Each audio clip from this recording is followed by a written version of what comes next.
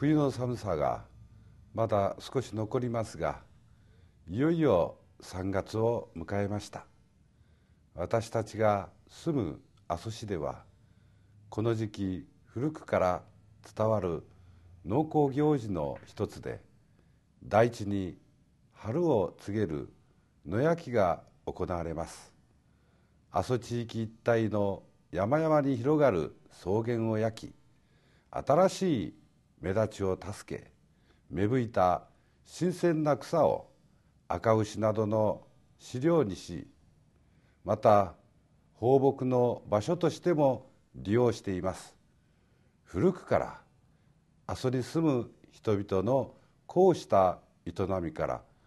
この美し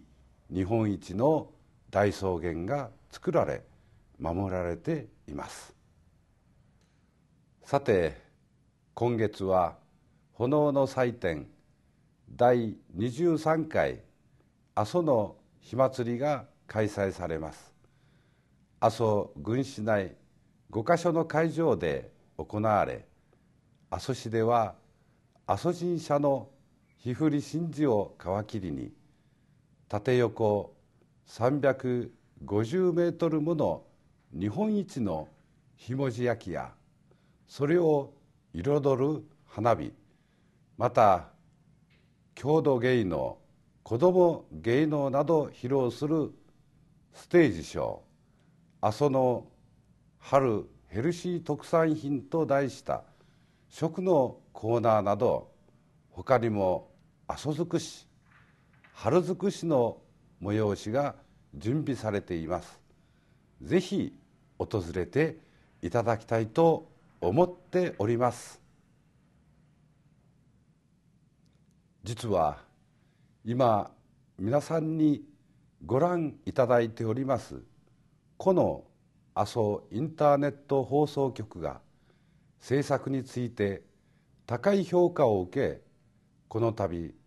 第12回 AMD アワードでリージョナルス賞を受賞いたしました。昨年国内で発売または発表されたデジタルコンテンツ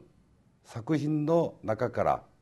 当局の地域性あふれる内容が評価されたものです。これもひとえに番組制作にご協力いただいた皆様のおかげと感謝しております。今後もスタッフ一同人々に愛される番組制作に努めてまいりますのでよろしくお願いいたします。